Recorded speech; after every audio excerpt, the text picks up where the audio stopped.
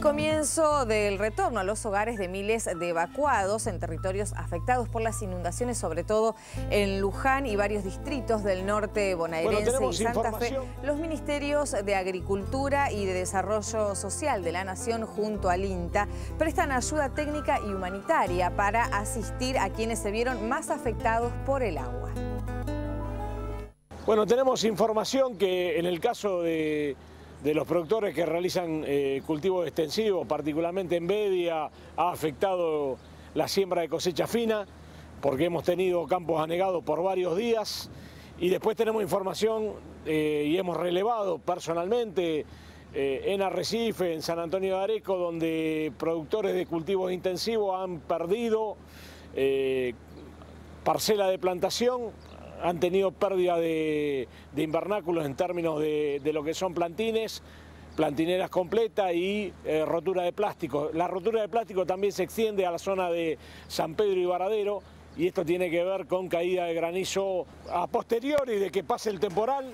Vamos a trabajar con todos los productores del relevamiento del daño y con la perspectiva de cuantificar el daño, elevar esa información al Ministerio de Agricultura y asistir a los productores en la recuperación de las áreas afectadas y las producciones afectadas. Con esto está vinculada la convocatoria que hicimos el miércoles 15 de julio en Bolívar con la participación de todos los coordinadores territoriales, los directores experimental, a una reunión de coordinación para el trabajo en los comités de cuenca hídrica por parte de los colegas de INTA, pero previendo que íbamos a tener un año complicado. Nosotros ya empezamos a trabajar con el Consejo Regional en marzo en la perspectiva de incorporar de manera estratégica la visión de Cuenca y el trabajo en los comités, con los municipios, con la provincia y con la nación.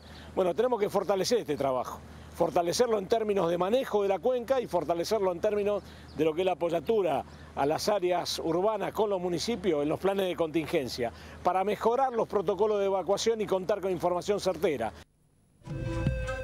La zona de Luján, por la crecida del río, fue una de las más afectadas y con presencia de organismos nacionales y provinciales en la asistencia técnica y humanitaria, comenzaron los relevamientos para dimensionar los daños y dar respuestas concretas. Es una situación muy difícil desde el punto de vista humanitario. Eh, nosotros creemos que las evaluaciones en cuanto a la producción agropecuaria se harán con el correr de los días. 300 y pico de milímetros en muy pocos días es imposible que una cuenca tan importante como esta lo pueda resistir. Y bueno, tiene que ver esto con todos los efectos que nosotros venimos diciendo que pueden ocurrir de cara al cambio climático. Esto lamentablemente es una situación que no, no va a ser la única, va a ser una situación que se va a repetir y por eso tenemos que estar muy, muy este, muy organizados para tratar de dar la mejor ayuda humanitaria posible. Bueno, esto la verdad que no nos sorprendió porque estamos medio acostumbrados, pero son 300 y pico de milímetros que han llovido en pocos días y estamos, la, verdad, la verdad, la situación es crítica en este momento, la verdad que estamos pasando una situación crítica. No tenemos prácticamente lugar donde llevar los animales, no tenemos cómo llegar a la zona, a los campos, no tenemos cómo llevarle alimento. O sea, la, situación es realmente crítica. Yo considero que hemos vivido muy pocas de estas, la verdad. Pero bueno, hay que seguir. El tema es ese.